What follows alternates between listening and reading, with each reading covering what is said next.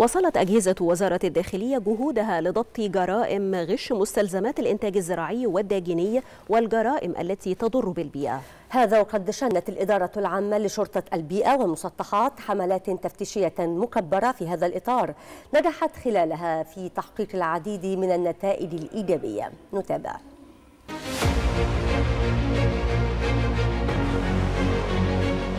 في إطار التصدي لجرائم التخلص غير الآمن من النفايات الطبية الخطرة وآثارها السلبية على البيئة.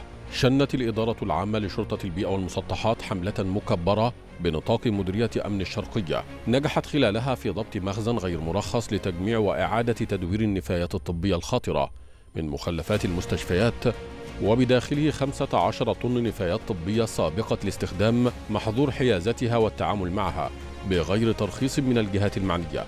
وتم ضبط مالك المخزن الذي أقر بتجميع النفايات لإعادة بيعها للمصانع لتحقيق أرباح.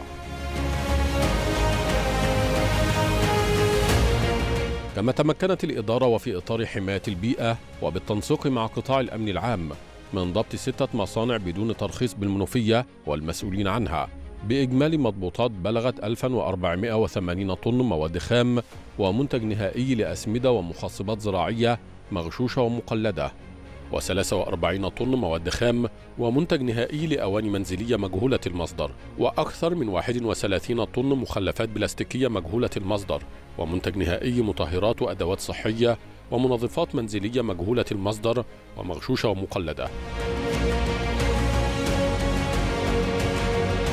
وبنطاق مديرية أمن بورسعيد تم ضبط مصنع وأربعة مخازن بدون ترخيص بمضبوطات 50 طن أعلاف حيوانية وداجنة مجهولة المصدر وعشرة أطنان ملح طعام وستة أطنان ونصف أسماك ولحوم منتهية الصلاحية.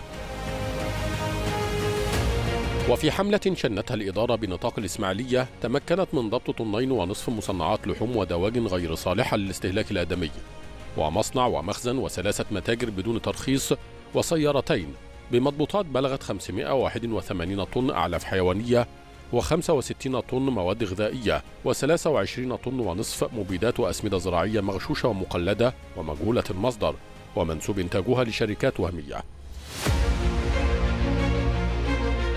وبالاشتراك مع مديرية أمن القليوبية تمكنت الإدارة من ضبط أربعة مصانع بدون ترخيص لإنتاج وتعبئة وتداول الأعلاف الحيوانية والمخصبات الزراعية. بداخلهم 150 طن أعلاف حيوانية و147 طن مخصبات زراعية مغشوشة ومقلدة ومجهولة المصدر. وأسفرت جهود الإدارة بنطاق محافظتي أسيوط والقليوبية عن ضبط 66 قضية في مجال حماية الثروة الزراعية والثروة السمكية.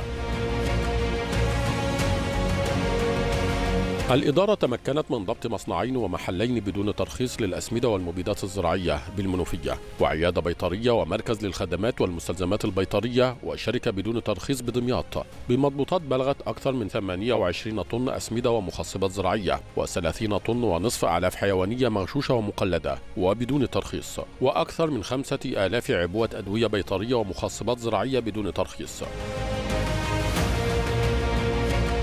كما تم ضبط مخزن وشركة بدون ترخيص للمواد الغذائية بدمياط والمنوفية بمضبوطات 10 أطنان مواد غذائية وضبط ثلاثة مصانع بدون ترخيص للدهانات والمطهرات والمنظفات الصناعية ومستحضرات التجميل والمشتقات البترولية بالمنوفية حيث تم ضبط 38 طن مشتقات بترولية وكيميائية و20 طن دهانات وبويات و89 طن مطهرات ومنظفات منزلية ونحو ثمانية أطنان مستحضرات تجميل مجهولة المصدر ومغشوشة ومقلدة.